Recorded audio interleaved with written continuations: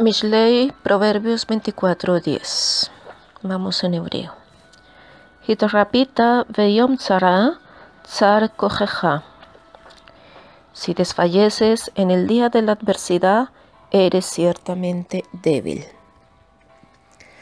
Es cierto, y yo creo que todos, no ha habido ser humano sobre la tierra por el cual no haya pasado ciertos días de dificultad, todos hemos tenido días donde han habido problemas, situaciones, eh, momentos donde no tenemos fuerzas.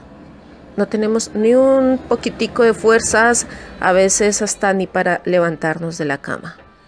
No porque eh, sea pereza, sino porque simplemente falta esa fuerza eh, emocional, esa fuerza digámoslo así, anímica, decirte levántate, hay algo por lo cual luchar en este día, hay algo por lo cual levantarse, arreglarse y poner una sonrisa ante los demás.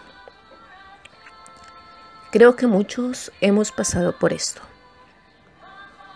Yeshua mismo, antes de, de morir, antes de presentarse allí en obediencia ante el Padre, sintió aflicción, sintió esa aflicción. Se sintió solo. Es una emoción que nosotros también hemos sentido. Muchas veces podemos estar acompañados de mil personas. Podemos sentirnos acompañados, entre comillas, de nuestros familiares. Pero nuestro corazón, nuestro espíritu, nuestra alma se siente sola sola, sin fuerzas para continuar, sin fuerzas para levantarse, sin fuerzas para luchar, sin fuerzas para decir, Padre, aquí estoy. Pero vemos lo que nos dice este proverbio. Es muy interesante. Si desfalleces en el día de la adversidad, en aquellos días difíciles, complicados, eres ciertamente débil. Y hay un llamado en este punto. ¿Tú te consideras hijos del Hijo del Todopoderoso? ¿Tú te consideras hermano, seguidor, talmid, discípulo de Yeshua? Si lo somos, no podemos mostrar esta debilidad y esta cobardía. Está escrito que los cobardes no entrarán al reino de los cielos. ¿Y qué es ser una persona cobarde? Una persona que simplemente dice, esto no es para mí.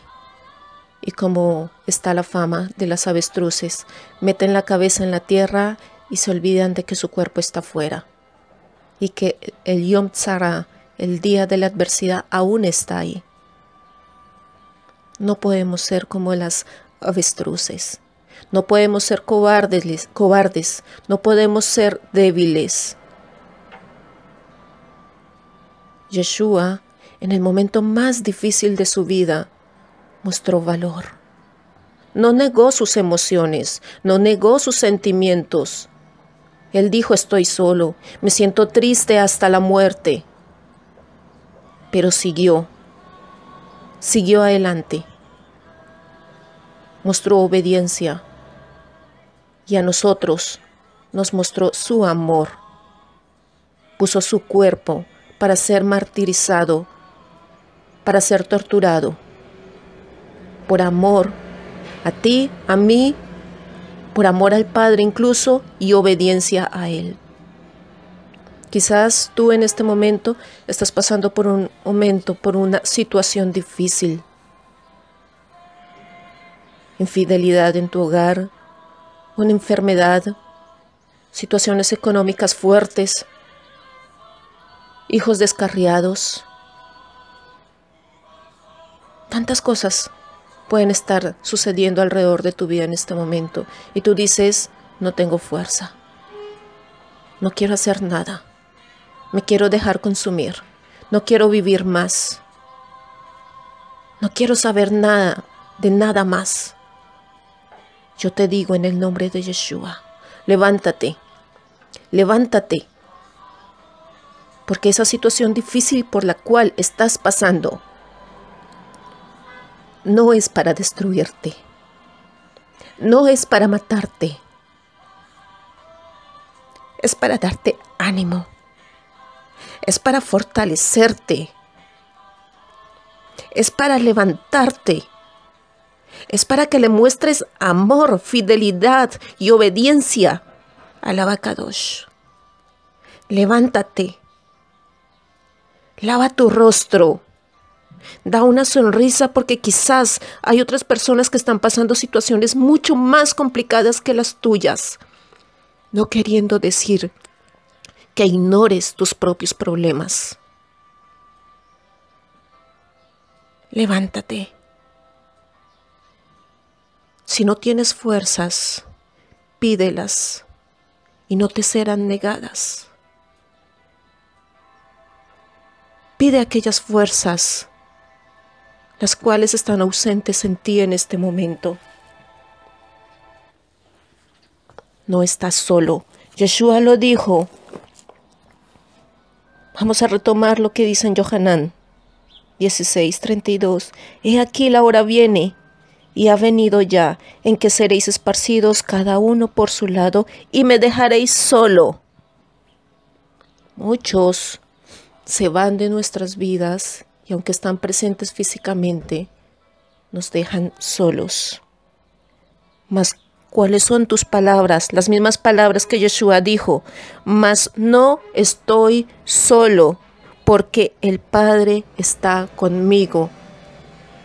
Si tú te identificas en este momento con este audio, di en voz audible para que ese mundo espiritual y para que tú mismo lo escuches, dilo en voz audible. No estoy solo, porque mi Padre que está en los cielos está conmigo. Y recuerda estas palabras dichas por Yeshua. Estas cosas os he hablado para que en mí tengáis shalom. Ten shalom en tu corazón. No te preocupes más no te tensiones más. Ten shalom en tu corazón, en tu vida. Descansa, reposa. No te agites más, porque no porque te agites y te estreses y te tensiones más, se van a solucionar tus problemas. No. Solamente confía en el que todo lo puede, en el que puede solucionar esa situación por la cual estás pasando. Tem shalom, recibe shalom en el nombre de Yeshua en tu corazón y en tu vida. En el mundo tendréis aflicción. ¿Por qué el Padre permite aflicción en nuestras vidas? Quizás la preguntaba por qué no lo sabemos. El para qué de pronto la podremos saber para fortalecernos, para fortalecernos. Pero confiad, yo he vencido al mundo. Si Yeshua ha vencido el mundo, y este mundo es un mundo de aflicción, y nosotros somos copartícipes con Él en el reino, en el Malhut Shamaim, en el reino de los cielos, entonces eso quiere decir que automáticamente nosotros también somos vencedores de este mundo, no por nuestras fuerzas, no por nuestra sabiduría, sino porque hay alguien que ya lo hizo por nosotros. Abacadosh, te damos gracias porque tú, en el momento propicio, hablas a cada corazón, porque cada momento es perfecto para ti, aunque para nosotros los seres humanos sea entre comillas demasiado tarde o demasiado temprano, no lo es para ti, porque tú conoces la necesidad de cada corazón. Tú conoces la aflicción de cada una de tus ovejas, de cada uno de tus hijos. Y en este momento tú haces que este mensaje llegue a ciertos hijos tuyos específicos